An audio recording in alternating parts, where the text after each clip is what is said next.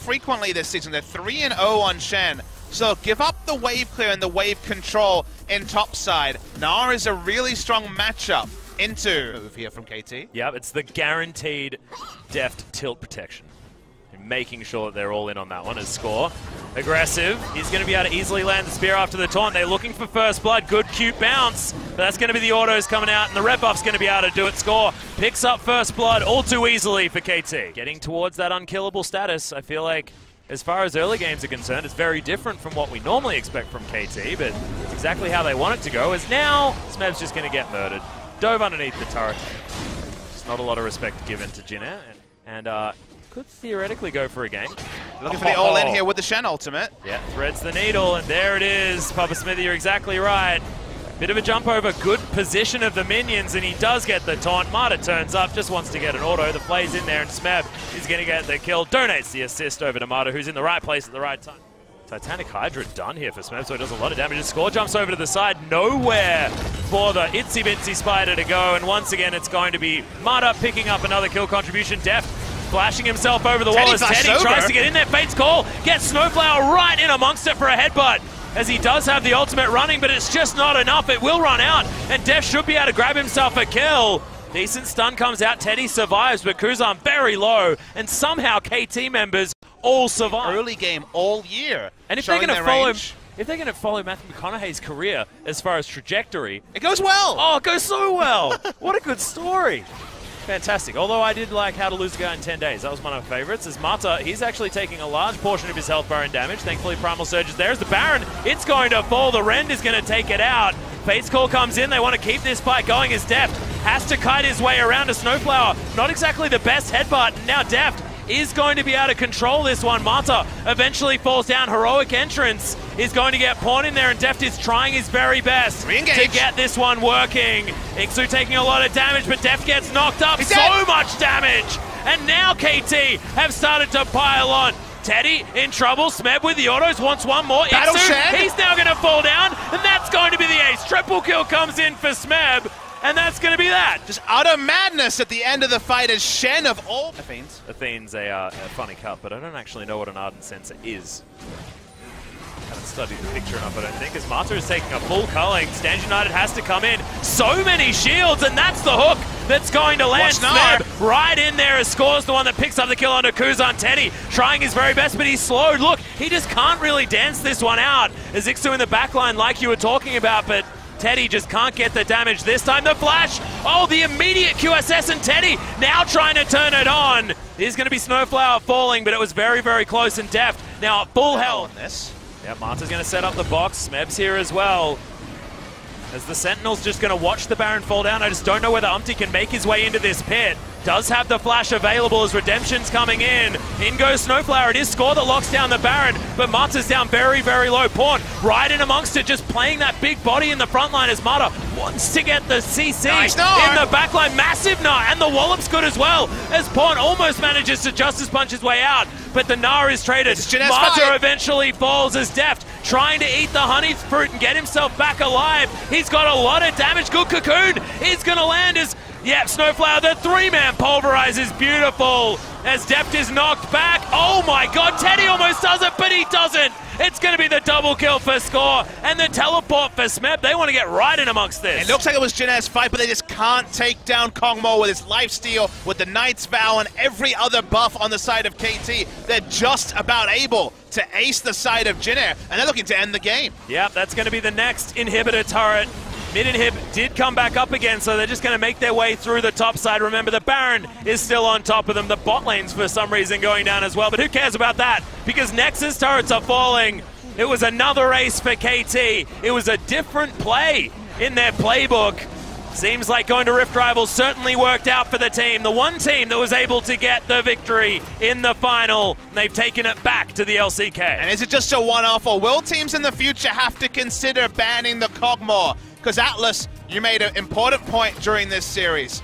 If you ban away the Kog'Maw, Why can't he just go to Jinx and do a lot of the similar things? It wasn't Juggernaut, it wasn't a Lulu and a Kog'Maw in the front line. It was just a super tank composition. And what do you have to ban to stop it? Is it the Galio? Is it the Kog'Maw? Because it feels like the Jinx fits in pretty cleanly as well. And if they're fits willing, in. I mean, Deft Sure. has got so many champions. and if they're willing to rotate, was the true damage carry? the massive battle Shen.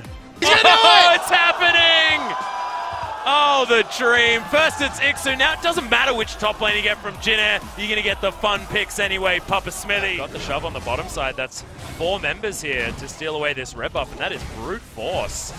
Now Kuzan might be in trouble. Petrifying Gaze comes in as there's Opti. Flash knockup comes in. Fate's call Bouncy there as well. castle. Pawn. Oh, Flash is over. Uh. Meanwhile, on the top side of the map, the bottom side of the map, everywhere else, it is going to be Corky picking up first blood and Kuzan, the one to capitalize. I don't remember when it was, whether it was 2015, 2016, but these compositions were played all the time as, oh, Umti taking so much damage and they get past the wind wall. The knockup should be there, but it's not going to be enough and so on. Gets that charge a little bit too late. The answer back is there from KT. Glacial Fissure coming down as Deft wants to be able to take the Dark Passage, but isn't. Oh, is able to get there finally. The double play there from Mata as well as the rend is not enough to deal with Deft. In comes Smeb. There's the flash onto the wall. The wall up and the living artillery is going to lock down the Kalista. Smeb just. and at least meaning that it's going to be a, a feather in their bow. It's going to be an option they have, even if they can default to lane. Oh, as, God. Uh, with red buff. Solo kill. Yep. The hyper proc comes out. He's under the turret. All too easy for Smeb. Will he have it? No, the tower shot comes in. Bit of Marin flavor up there, and it is going to top be. lane. Maybe they're going to try and put down the Rift Herald in top side. But for now, just trying to zone Smeb away from turret. So one's only level 10. This is risky. Yep. Doesn't have any Nabar though, as there's the knock-up combo. Still tanking the turret. Hyperproc comes out as Smeb Ah. gonna dance around this one. Yeah, the Void Rush is gonna get in there. It's gonna reset the aggro there as well too. With his Rod of Age is already done. Had that one about five minutes ago, so a good clip after a tier. Look, that's gonna land, and they're actually committing to this one. The Ignite goes down. Wow! That Brom was so dead, so fast, even through on Once again, great position. Not a the great teleport. teleport. Yeah, going to be cancelled by SoHwan. Not what you want is another Petrifying Gaze goes wide. Kuzan gets over the top, flashes. There's the explosive cast that may have killed Bon though as Kuzan picks that one up. Good play, the box is here, but everyone turning up on the side of KT and Jinair. They get rid of Kuzan, so no mid laners. They're available anymore as Void Rush was used, the flash from Smeb. He wants to get this as the knock goes wide. That was beautiful, but there's the knockback. And Smeb crushes over the wall once again. So Snowflower, Winter's Bite So goes on. nowhere, but SoHwan should be able Can to clean clean this this up? one up. As Smeb, he's going to go down low. It's a double kill, and Teddy is going to be able to grab the Kog'Maw. Disaster strikes for KT. Four are dead. That could just be Baron. You're going to lose Baron here because, of course, the use of the Unbreakable and also the Wind Wall will allow them extra tankiness against Baron's attacks as well. They took so long to win a fight. Umti's ability to, to tunnel over, bait in the flash from Gnar, and then get out himself allowed him to live against all odds. And the damn Yasuo, who cancelled his teleport. Does follow through. Lots of pings now onto this Baron. As Umti does follow through. Yeah, he's going all in on it. Yep, straight away. Teleport coming in now from Smeb. Should get himself in there. Nabar in a decent position there as well. It's the Baron going down low. Oh, that big one did a lot of damage. And now Smeb will have the Mega Gnar. Can he get it done? Massive double stun score. Gets the Baron as now. They're just climbing onto the massive Kog'Maw in the back line. And there is Pawn now in this fight and able to get the work done with the Petrifying Gaze. This is... Pawn thought he was going to press his R button there. Been a bit trigger happy with that one so far, but Big One does a lot of damage from Kuzan as Deft moves his way back towards this mid lane. Good hook lands onto Umti, and fantastic cask delivers him to Deft's open arms. Snowflower now living artillery, chasing him down. They'll just take the inhibitor turret though, and KT look to have taken over the game. It's only a thousand gold to lead, but breaking the base with this composition is really important. Yeah, with Baron, Elder Dragon, KT can just play front to back, bounce in whoever, instant kill him. It doesn't Deft is just being such a juicy target, and he knows that Mata will get him to safety if he's ever out of position. Five flashes up from KT. Every single player a playmaker. Speaking of flashes, This is not when you start a fight though. Smeb just gets his ultimate. Will make his way out now. They are going to be able to take down one. Pawn is going to fall down, but Deft in a good position. Teddy is the one that grabs that kill, but Umti, he's jumped on top of Smeb. Guardian Angel is now down. KT just looked like they were happy to sacrifice Pawn because they knew that they were going to get more. As Kuzan has to use his QSS, and Snowplow will bear the brunt of the damage. Good Unbreakable. Living Artillery gets around it though, and another Dark Passage. The bottom lane of Deft and Mata has never looked this in control. Yeah, Smeb just teleports back because he knows they will lose their third inhibitor turret as they chase into Smeb. He's just buying time as the rest of the team is oh. deciding oh. the game around him. Yep, kiting it as well. Will have that Mega Nard. Doesn't have the Nard. Oh, he does. He's got the ultimate, the double wallops there, but okay, that's the whole base in tatters. Yeah, decent trade from the side of Smeb. They're going to be able to take that one down. Vision is cleared though, and Jin Air, they're going for it. Everyone on KT that's alive is going to be able to make their way into this pit. It's 4v4. Oh, package. Oh, Kuzan, he probably didn't want that. Has to flash himself all the way out, but they've got some weird pincer maneuver, but it's not exactly where they want to be doing battle. Deft well and truly in the backline. SoHwan has to get Bates himself goal. out. Bates goal, but Deft flashes it immediately out of the way and still safe, but Pawn once again dead. Mata going to be the follow-up death, but super creeps are crashing forward. This is so dangerous. They have to rush it down right now, instantly. They can't respect the Smite Steal. They need to take it or they will just lose the game. Well, Deft is trying his very best to try and hang out over the side. Living Artillery is not going to be enough to out-damage Rend, and he doesn't want to sacrifice... Speed. So KT, what do they want to do? For now, they're cutting off Jin Air. They could just barrel down mid lane, but it looks like they want to fight. Yeah, well, they need to try and win this fight before that Elder Drake comes out because the Rend is just going to be too difficult for them to try and do damage against. And now the Wind Wall. It's only going to be up for the next little while. Okay. Oh my god, Score steals it! He knocked away Teddy and just smited down the Elder Dragon. That one is going to be the next option. Deft well and truly in range of it as the minion wave is going to catch up. Now Kuzan throws out the package there again, trying to corral as there's the Fate's call. This could be the last fight for Jin Air, but no one is going to get hit. In goes Umti, but look at Mata controlling the fight once again. Pawn goes down, score has moved out of the way as Deft trying to kite Teddy. He can't do Smarter it. now, Deft. Can he do it? The no. knock-up comes in,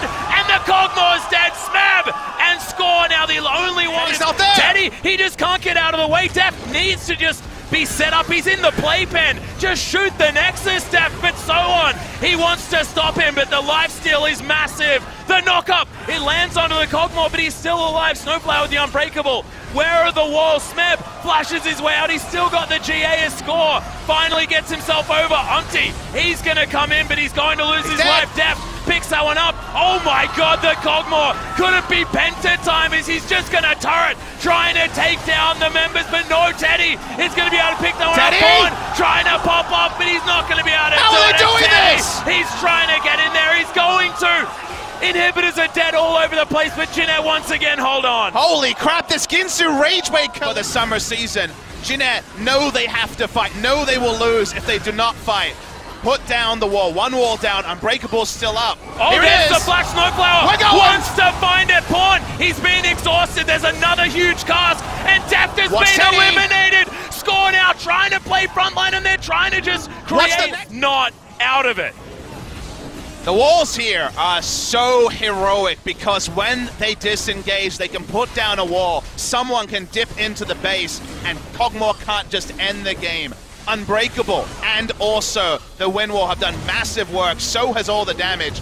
Elder Dragon is swapped for Baron because that's what happens at 58 minutes. It gets a bit silly. Well, it's actually going to be fantastic news because KT, as far as winning the game, I believe what you'd want is Baron buff. But it means that that is not very much damage picked up for the Kog'Maw. As Teddy almost got played there, Smith. Oh. He's looking for it, doesn't quite have the Nabar in there, and he's been stunned up.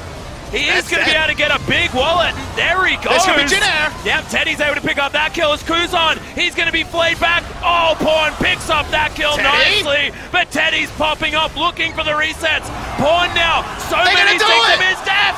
He's going to be taken down and score. There's nothing he can do. He wants to try and get some creeps and move them towards the Nexus. But is redefining builds. They're going to go through the front. Two here are going to hold, and we're going to game three. We are going to game three, and what a way to do it as well. Jin Air with so much momentum after this incredible historic game. Score still trying to take down a Nexus. No one's going to be up in time. And that is one of the most ridiculous comebacks I've seen from no turrets at all.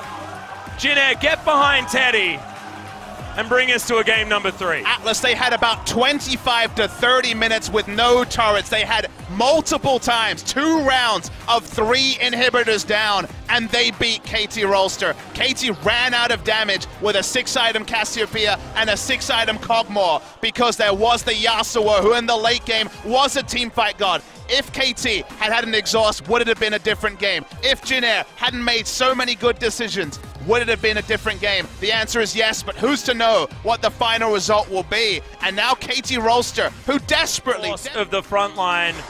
Remember, he didn't have any armor penetration at all and melted tanks like butter with that. Rumble was my first impression, and it will still be Rumble. The basic theory here is that KT want to do it early to mid-game.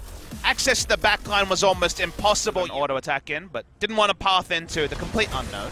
Yeah, not going to throw the Q in there either.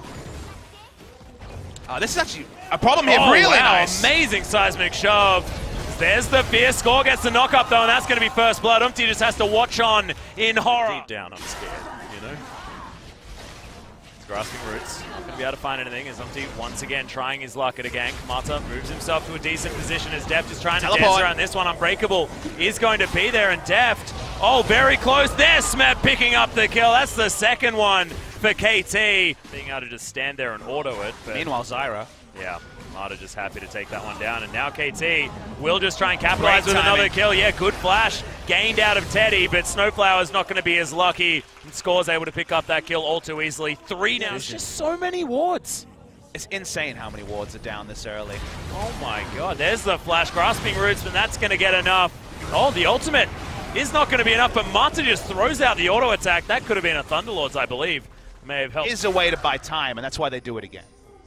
Yeah, well, Score's just going to hold on to it here. Can just tunnel his way out. Actually looking to try and start a fight, though. Weaver's Wall means that it's a bit of a Equalizer. Thunderdome to come in. Oh, my Uh-oh. God, Smeb. That is stunning placement once again. The heroic entrance to basically a death party for Kuzan, who's going to get melted down. This could be close to an ace, but SoHwan is nowhere in 20 sight. minutes. It represents all the core items to allow them to team fight. The job of Mata, keeping this rush completely clear, is still winning. Well, we're looking for another grasping root so we can get him, but Void Rush is going to be enough. Score takes down Snowflower, and now Baron is an opportunity. And Mata has set himself off. He can Yep. block this whole area while they're Oh, taking down he's the ready. Baron.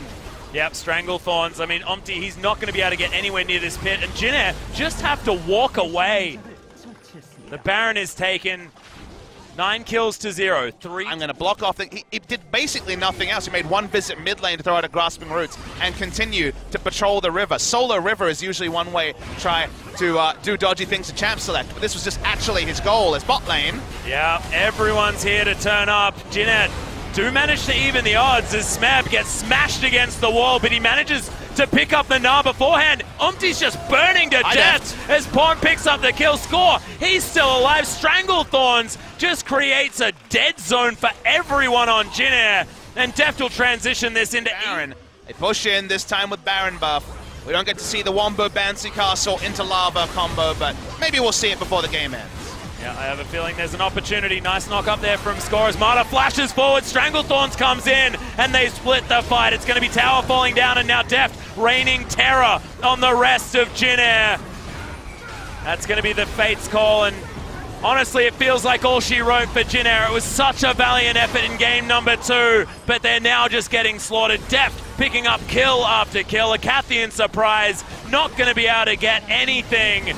And now the Nexus turrets are going to fall 29 minutes into the game, and the Nexus is going to go down. Game number three, it was courageous for Jin Air in game two, but Gates KT silenced the critics in game three. Yeah, KT Rolster play an almost perfect game in game three. The river was somewhere that Jinair could not go after the early, and you never know how teams will react after playing an almost 60 minute game.